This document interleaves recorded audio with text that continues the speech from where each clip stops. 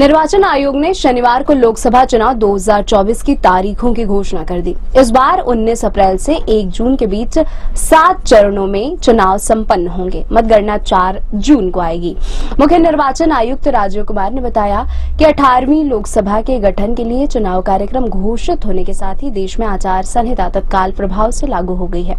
इसके साथ ही सरकार ऐसा कोई नीतिगत फैसला नहीं कर सकेगी जो मतदाताओं के फैसले को प्रभावित कर सके।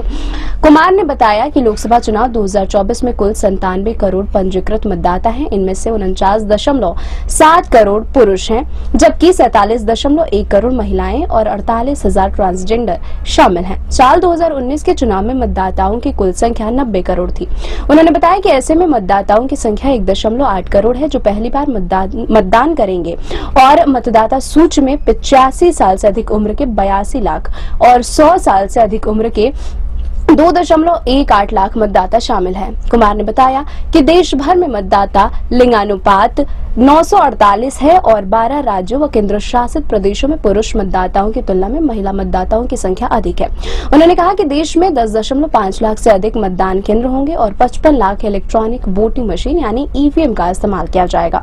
उन्होंने कहा कि आयोग हिंसा मुक्त चुनाव कराने के लिए प्रतिबद्ध है। दो नए निर्वाचन आयुक्तों, ज्ञानेश कुमार और सुखबीर सिंह संधु के साथ मुख्य निर्वाचन आयुक्त राजीव कुमार ने कहा कि हम पूरी तरह तैयार हैं और मैं मतदाताओं से अनुरोध करता हूँ कि वे स्याही लगवाएँ। उन्होंने कहा कि यह हम सभी के लिए एक ऐतिहासिक अवसर है। उन्होंने कहा कि निर्वाचन आयोग राष्ट्रीय चुनाव इस तरह से कराने का वादा करता है कि वैश्विक मंच पर भारत का गौरव बढ़े। कुमार ने कहा कि सभी राज्यों में आकलन के बाद हम एक यादगार, स्वतंत्र और निष्पक्ष चुनाव सुनिश्चित करने को लेकर आश्वस्त हैं।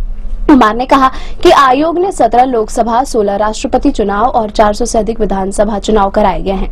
उन्होंने कहा कि पिछले 11 राज्यों के चुनाव शांतिपूर्ण और हिंसा मुक्त रहे और लगभग एक भी सीट पर दोबारा चुनाव नहीं हुआ। साल 2019 के लोकसभा चुनाव में भी सात चरणों में मतदान हुआ था। उस चुनाव में कुल इक्यानवे करोड़ योग्य मतदाता थे, जिसमें से लगभग तिरयालीस करोड़ महिला मतदाता और लगभग सैतालीस करोड़ पुरुष मतदाता थे। कुल लगभग इकसठ दशमलव पाँच करोड़ वोट डाले गए थे और सड़सठ दशमलव चार प्रतिशत मतदान हुआ था। साल 2019 के चुनाव नतीजों में भाजपा ने 303, कांग्रेस ने बावन और तृणमूल कांग्रेस ने 22, बसपा ने 10, रंकापा ने 5, मकापा ने 3 और भाकापा ने दो सीटें जीती थी।